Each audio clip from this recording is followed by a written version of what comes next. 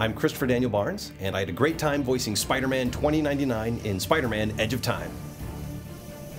Miguel O'Hara in the game 2099, uh, he's dealing with a lot of stress because he's watching his world essentially be torn apart and transformed in a way that is deeply disturbing. His role in the game, his quest, is to, is to transform that, to stop that, to reverse the process.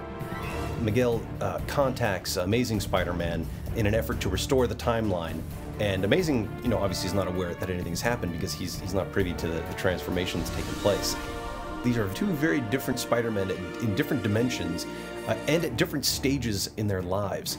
And they begin this relationship, this dynamic of working together to resolve the discrepancies that have occurred.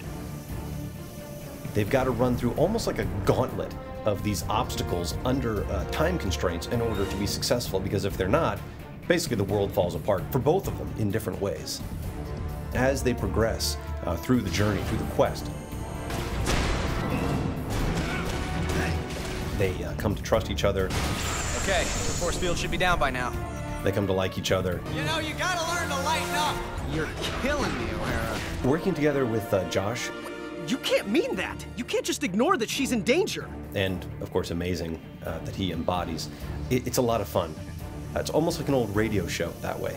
You're together, you're working together, and uh, you're playing off each other. You're the one who doesn't get it, Parker. The future depends on you. My future is meaningless without her. And everyone else's future can go hang? When we're in the booth, I can really hear, uh, not just read on the page, but I can really hear what Josh is doing, and I can, you know, hear his inflections, and I can even see him. Oh, great. Any other ideas? All right, let me think.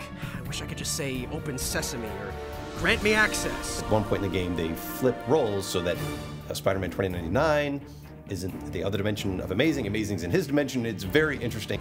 Something came through with me. Oh my god. The gamers are going to have a lot of fun working through all of these interesting dilemmas within uh, the different time streams. Time travel ready in 60 seconds.